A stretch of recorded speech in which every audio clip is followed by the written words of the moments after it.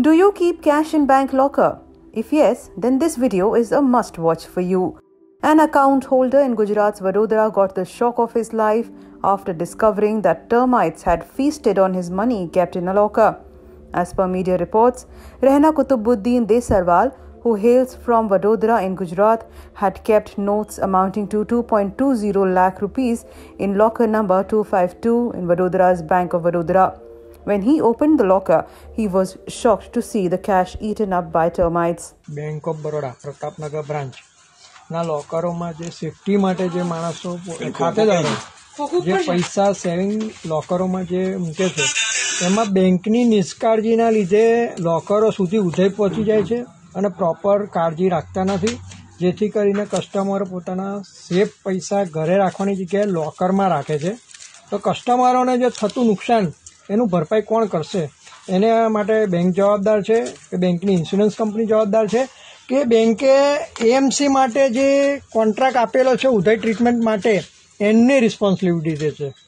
હવે આવીને આવી રીતે દરેક કસ્ટમરોના પ્રોબ્લેમ થયા કરશે, તો બેંકોમાં લોકોના લોકરો રાખવા માટે બી પ્રોબ્લેમ થઈ ગયા, એવી પરિસ્થિતિ સર્જાઈ શકે આજે. આ પ્રતાપનગર બ્રાન્ચ બેંક ઓફ બરોડામાં આજે જે ખાતેદાર છે જે રેહાનાબેન કુતુબદ્દીન દેસરવાળા, એમણે આજે એપ્લિકેશન આપી. મેનેજરને કમ્પ્લેન કરી છે. તેની આ કોપી તમે જોઈ શકો છો. તે બેંક મેનેજરે સહી સિક્કો કરીને ઓછી કોપી રિસીવ કરેલ છે. જેની તમે કસ્ટમર સાથે છો કે પછી બેંક સાથે? હવે આમાં ફાયદો કોનો? બેંકનો કે કસ્ટમરનો નુકસાન કોણ બરાબર છે તો બેંકે શું આના સામે કાર્યવાહી કરીને વળતર શું આપવું જોઈએ એ બેંકના manager Following the incident, Desarwal has raised a complaint with the bank manager and demanded his money back.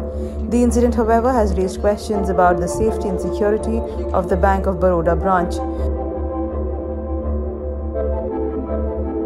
It has also proved that money is no longer secure in bank lockers. According to the RBI, banks are in no way responsible or liable for the contents kept in the locker, even in the event of theft, burglary, or similar unforeseen events.